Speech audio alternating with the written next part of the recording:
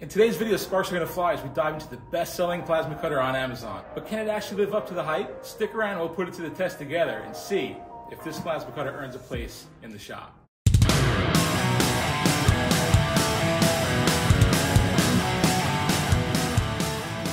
All right, guys, so this is a plasma cutter by a company called Bestarc. They reached out to me and they said they wanted to send me their newest plasma cutter. It's the seventh generation. It is the BTC 500 DP. Only it really must be the best selling plasma cutter on Amazon because I couldn't get the seventh generation one. They sent me the third gen because they're completely sold out of the seventh generation. From what I understand, it's essentially the same machine. It's just that the display is a little bit different on this one. The new one has an all digital display. This one still has a dial for the air pressure, I believe.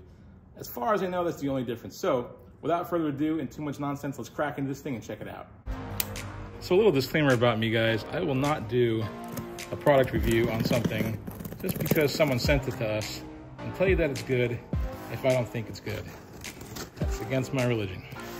So if this thing is terrible, I'm gonna tell you it's terrible. If I think it's good, I'll tell you it's good because I don't care and that's how we do.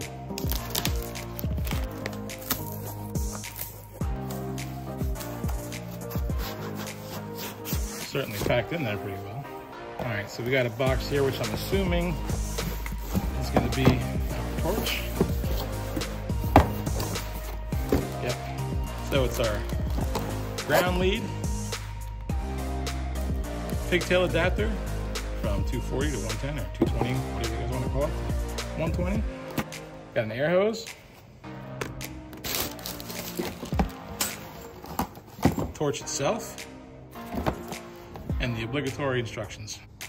And of course, for the unit itself,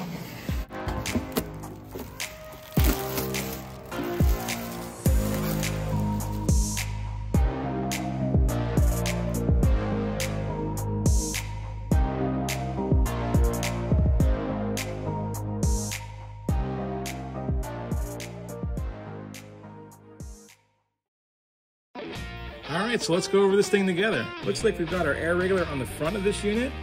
We've got our air pressure gauge here. And that's kind of what I was talking about on the newer machines, the seventh generation one.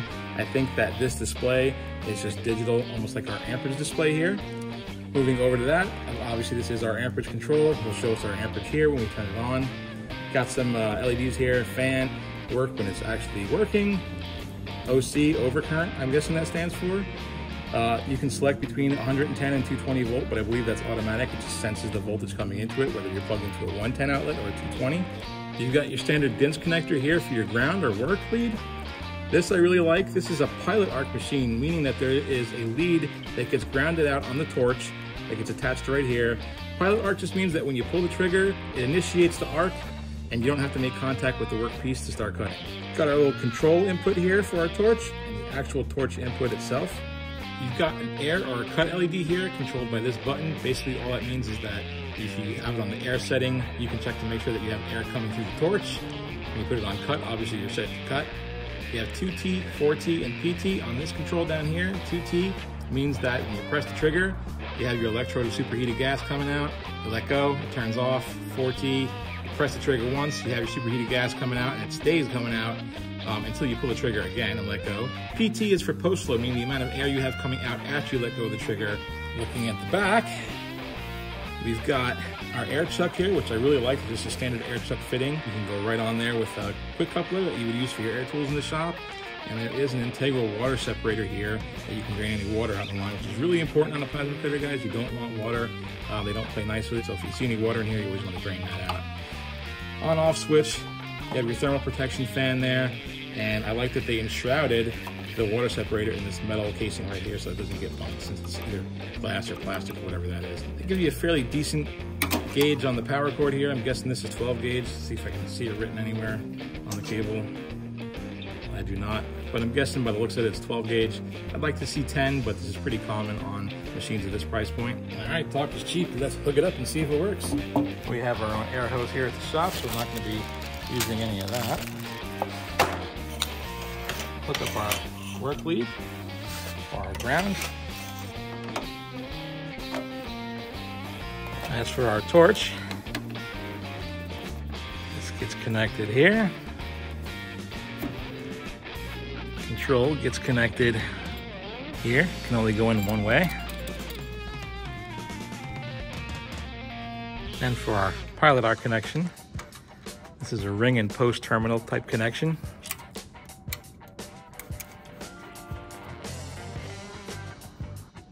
Once you're all hooked up here, that's what your connection should look like.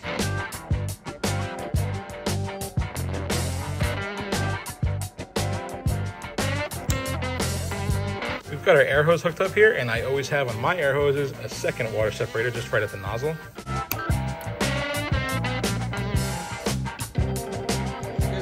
Very basic and easy to understand chart, your first column is for 220 and your second column is for 110. We're using 220 today, so we're gonna be on this one. Basically, it just tells you for what material, the thickness that you're cutting, what the air pressure should be, and how many amps.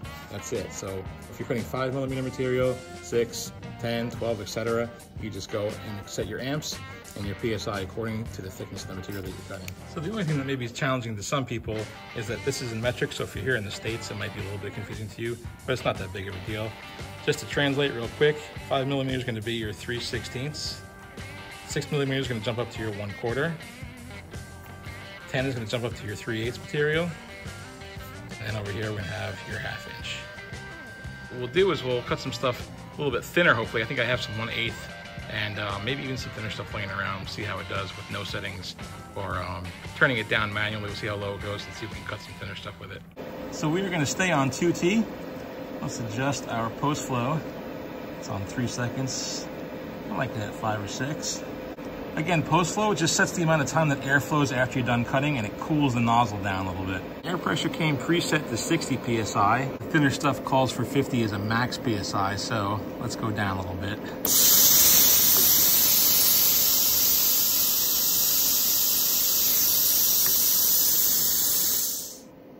Just a super simple machine to operate and get dialed in, guys. All right, let's see if we actually have an arc. We are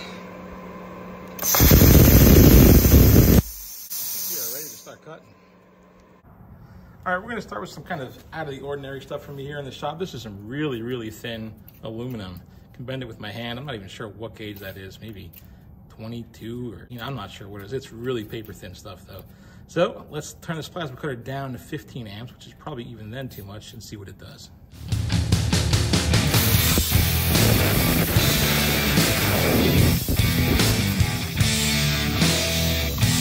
Flip it over and see. Hardly any dross on that. That's nice.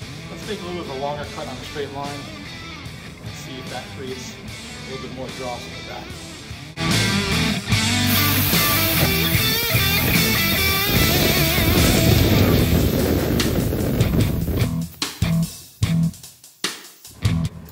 Hardly any on the piece that we cut. I don't know if you guys can pick it up in camera or not. A little tiny bit on the workpiece. Not too bad. Not too bad. I went kind of slow on that admittedly though, so let's get rid of this really thin aluminum, get some steel up here. Maybe some thicker aluminum, let's try that. All right, so we've got some 16 gauge angle iron here. This is aluminum. It's gonna be a little bit weird cutting this because it's a piece right here. But I guess we'll start on the outside, work our way in, and cut back and see how that works out.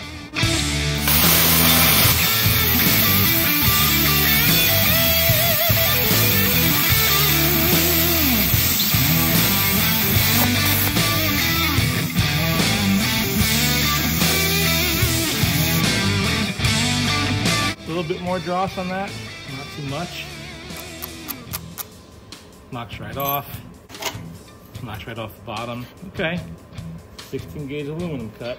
All right, guys, here's some dirty 1 8 flat stock that I have laying around. It's a good test for me because I use 1 8 a lot here in the shop.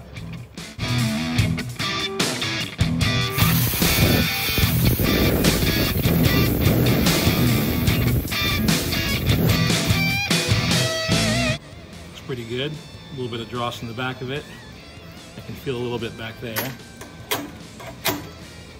Knocks right off.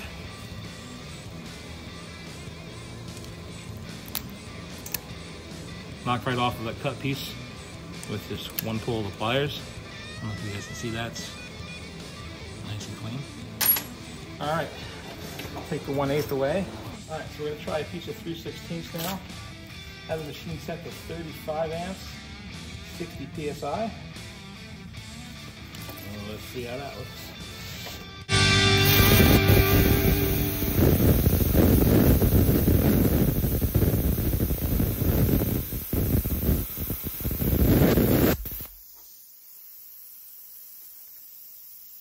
A little bit of dross on the back of it.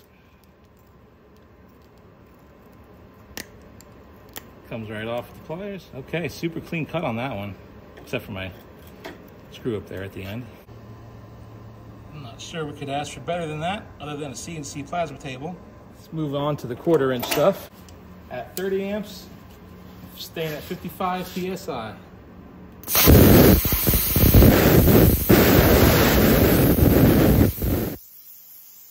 That went right through easily. It was just hanging on by a piece of that dross in the back of it. I don't know if you guys watch me when I cut that, you can see what happened here on the camera. But right here towards the end, I kind of slowed down a little bit and uh, the dross just kind of melted back on, which is what made it kind of still hang on there by a thread.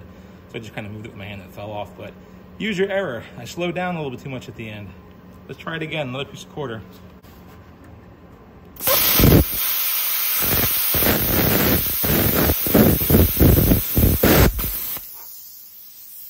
Okay, that's a lot nicer dross all came off the back side of it.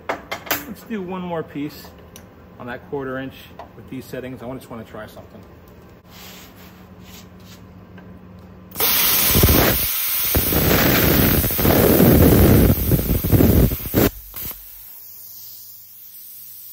So interesting, I bumped up the amperage a little bit and on that piece I got hardly any dross on the cut piece. I bumped up the amperage on that to 35 and we're at still at 55 PSI. So guys, check this out. It's pretty remarkable. I don't have any 3 8 in this shop. I thought I did. I don't have any half inch. So what I did is I took a piece of quarter inch, stuck it on top of a piece of 3 16 and cut. And what a really nice clean cut I got. There is zero dross on the bottom of it, zero on the top. Really, really impressed with that. What I did to obtain that is max out the machine at its 50 amp setting, 60 PSI. We got a really clean cut stacking that quarter inch and 3 16ths. So midway through the settings that I'm finding that work out the best are slightly different than what's in the book. So I'm writing everything down over there. So at the end of this, we'll go over everything that I've written down with the little pieces of metal that I got cut and we'll see what worked best. All right, guys, since we don't have any half inch, I went ahead and cut this piece of quarter inch in half and stacked it, making a half inch piece there. Let's see what happens. We're gonna go ahead and max out the machine all the way to 50 amps at 60 PSI. Let's see what happens.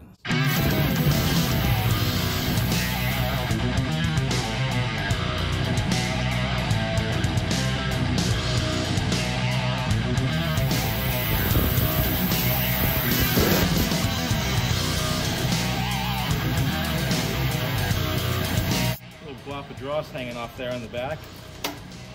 Seems to be coming off no problem though. One piece. Guys, that looks like a pretty clean cut, I gotta tell you. Here is the cut end, just a little tiny piece of dross. Take a look at that.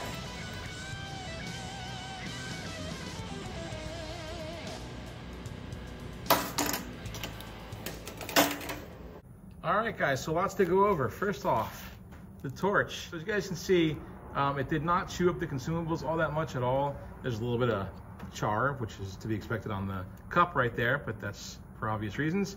But the actual nozzle, um, I don't see any cuts in those kerf lines or anything like that. It's just, it's still looking pretty good.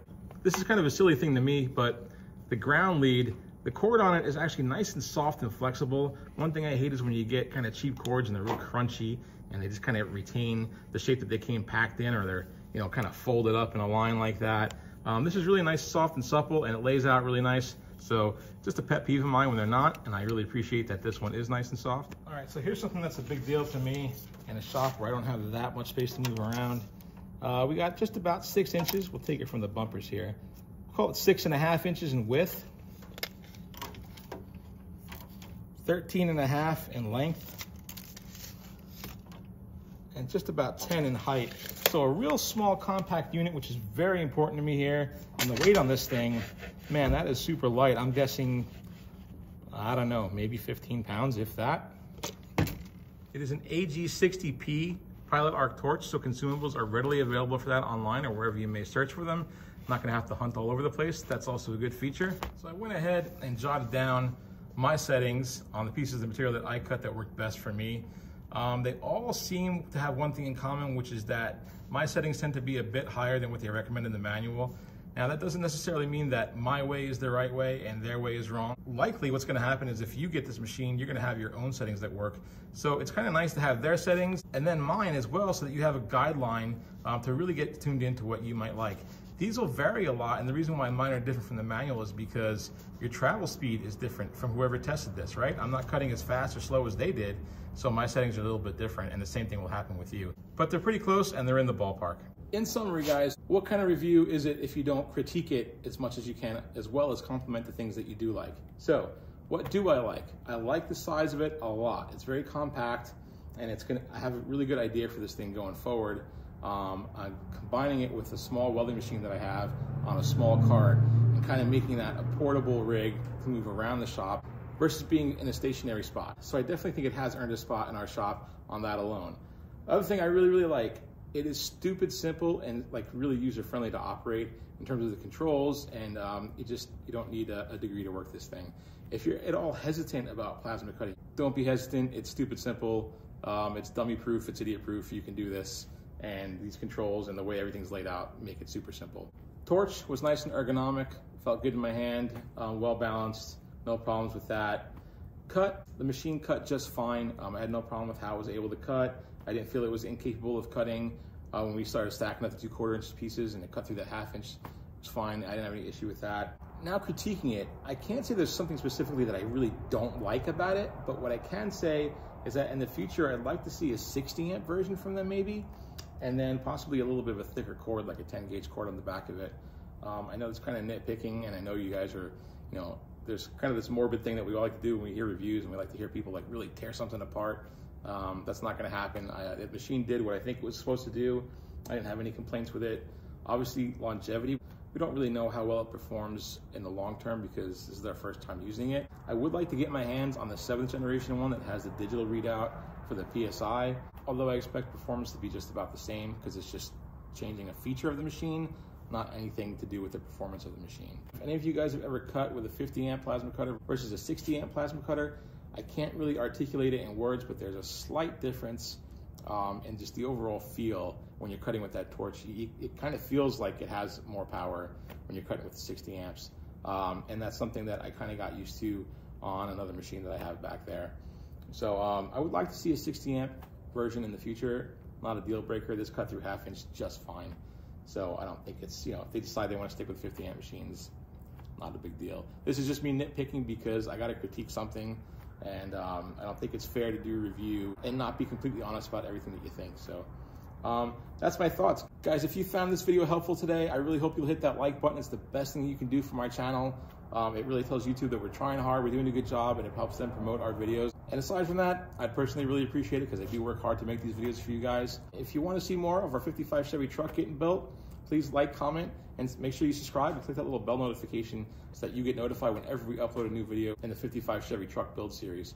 I want to thank Best Arc for providing this with me today. I look forward to working with them. Uh, hopefully we'll get to try their seventh generation machine at a later date and see if there's any difference in that. Guys, thanks so much for watching. I'll catch you in the next video.